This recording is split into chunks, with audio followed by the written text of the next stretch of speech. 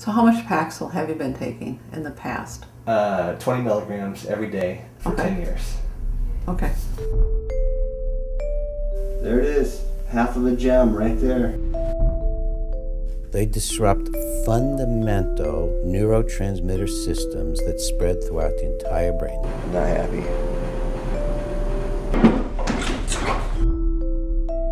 Once you're on a psychotropic drug, you end up with a brain that is operating in a manner that is different than normal. It's not a balancing act, it's an imbalancing act. temper tantrums, moods, and the headaches and the ringing in the ears. I just want to shake them and say, snap out of it. I've seen patients where if they skip a day of their drug, they're desperate to get it.